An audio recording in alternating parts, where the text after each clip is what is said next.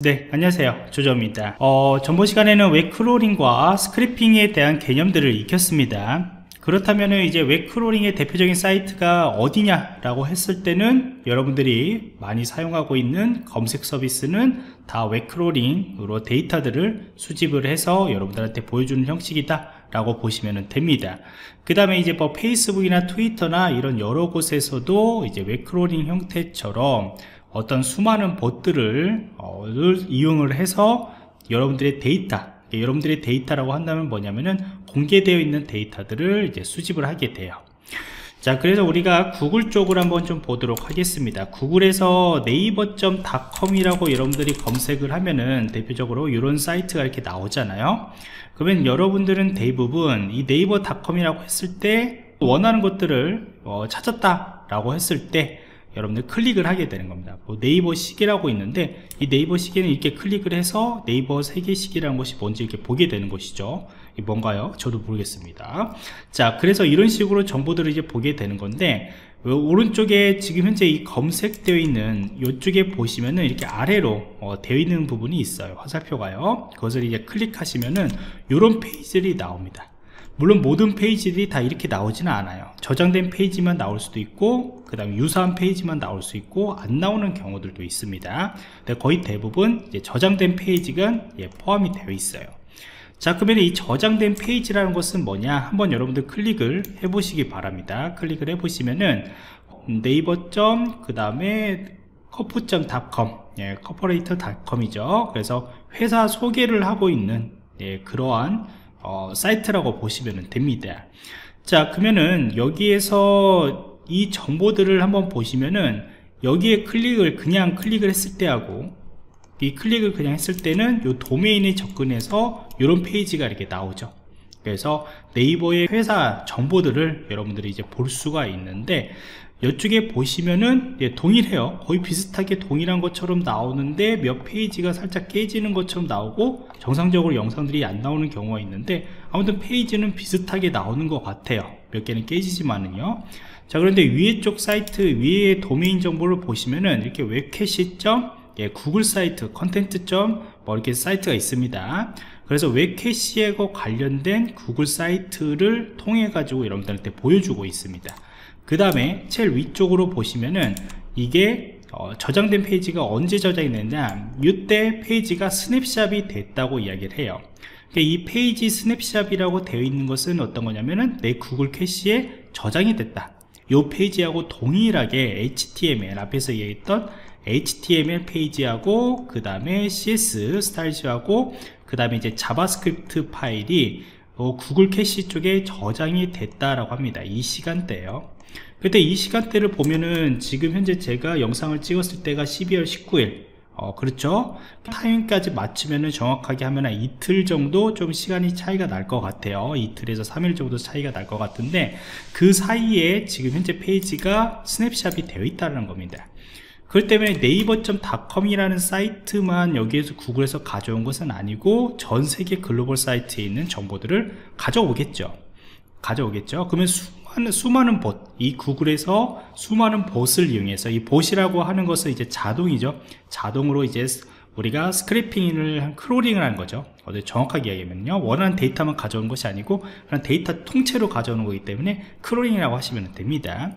그래서 이 crawling을 해서 이제 여러분들한테 이 캐시에 있는 정보들을 이제 검색어나 그런 거에서 알고리즘 구글에서 가지고 있는 그런 검색 알고리즘을 미리 예, 저장을 해놓게 이 세팅을 해 놓는 거죠. 그래서 여러분들이 검색을 하시면 굉장히 빠르게 이것들이 검색을 하고 하는 것처럼 이제 보이게 되는 겁니다. 그래서 여러분들은 이렇게 사용을 하게 되는 거죠. 검색 정보들이 나오는 거에 대해서는요. 그런데 이 웹 캐시에 항상 저장이 되어 있다. 이 정보들은요. 그래서 이렇게 우리가 crawling인 이 구글이라는 검색 사이트 네이버, 페이스북, 트위터 이런 곳에서 다 crawling들을 사용하고 있어요. 모든 검색 서비스에서는요.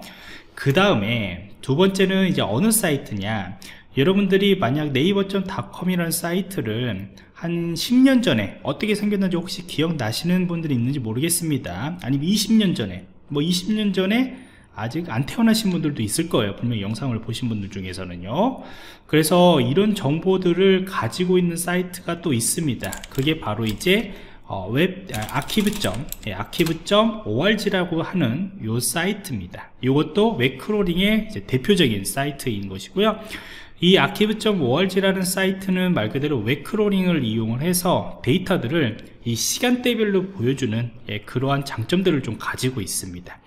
물론 이제 구글 쪽에서도 여러분들이 잘 조정을 해주시면은 옵션에서 이 더보기를 그 옵션에서 설정 쪽이나 도구 쪽이죠? 도구 쪽을 보시면은 이렇게 날짜들을 여러분들이 설정을 해서 여러분들이 찾아낼 수가 있겠지만은 굉장히 불편합니다. 찾아내기 굉장히 어려워요. 원하는 그 시점의 그 사이트 모습을요. 그런데 이 archive.org라고 하는 사이트는요 여러분들이 만약 네이버.나는 닷컴이라는 사이트를 좀 정보를 보고 싶다 자 이렇게 검색을 하면은 Wayback Machine이라고 하는 어, 이렇게 사이트가 이렇게 하나 나옵니다. 그래서 이 Wayback Machine이라는 것은 말 그대로 이제 crawling을 해서 검색한 결과들을 저장을 해서 여러분들한테 보여주는 예, 그러한 내부적인 machine이라고 보시면 돼요. 그래서 네이버.com이라고 하는 사이트를 이렇게 검색을 하시면은 여러 이렇게 그래프 형식으로 뭔가 있습니다.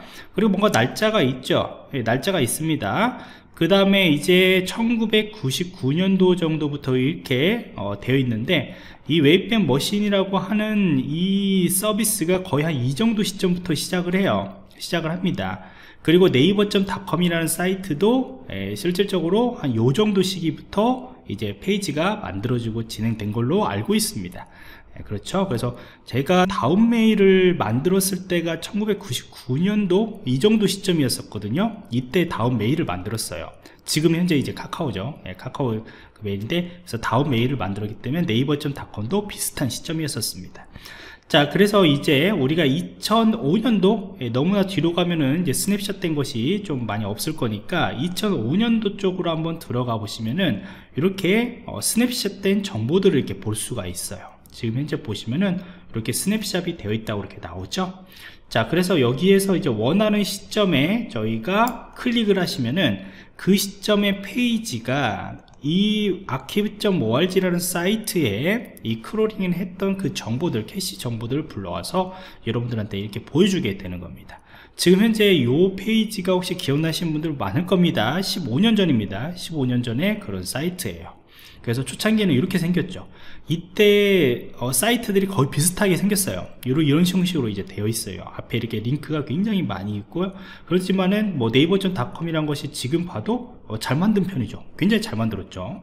예, 그래서 여기 보시면은 이게 클릭하는 부분들이 있어요. 근데 이제 클릭을 했을 때도 클릭이 되는 페이지가 있고 그렇지 않은 페이지들도 있습니다. 이 crawl이란 것은 이제 단계적으로 여러분들이 이제 그 안에 하위 디렉토리에 있는 페이지에 있는 정보들까지 crawling을 이제 단계적으로 어, 하는 경우들도 있고 그렇지 않은 경우들도 있고 그 다음에 이제 뭐 이렇게 시간이 지나면은 여기서도 이제 페이지들을 삭제하는 경우들도 있고요. 예, 그렇기 때문에 이거는 case by case다 라고 보시면 됩니다. 그래서 여러분들이 검색하고자 하는 사이트를 도메인을 검색을 하시면 돼요. 다음 점 net이라는 사이트도 당연히 나오겠죠 나옵니다. 그래서 이쪽 보시면은 다음점 net도 어, 클릭을 하셔가지고 이렇게 클릭을 하시면 돼요. 지금 이 페이지는 현재 서비스하고 있는 그 페이지에 접근하는 게 아닙니다. 말 그대로 archive.org의 캐시에 저장되어 있는 페이지에 접근을 하는 것이고 거기서 crawling을 하기 때문에 당연히 거기에 관한 링크나 그런 것들 형태들도 다 살아있고 그 다음에 이제 이미지나 이런 같은 경우에도 crawling 했기 때문에 당연히 같은 예, 폴더에 이렇게 저장이 되어 있는 형태이기 때문에 다 가져왔다 라고 보시면 돼요. 그런데 이제 여기에 이 다음인데 네이버 같은 경우에는 거의 다 대부분 포털 사이트다 보니까 다 링크 형태로 되어 있죠. 그러니까 링크 형태로 되어 있다 보니까 그게 이제 좀 페이지들이 많이 지금 현재는 안 되는 경우들도 있다 라고 보시면 됩니다.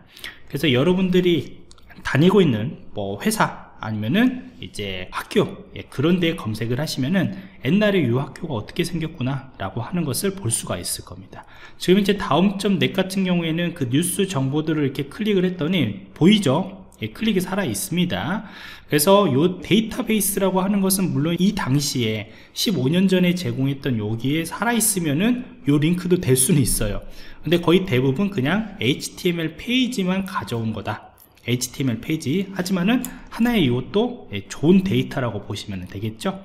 그래서 이런 식으로 여러분들이 어, 접근을 할 수가 있어요. 다 crawling이 됐기 때문에 가능한 이야기다 라고 보시면 됩니다.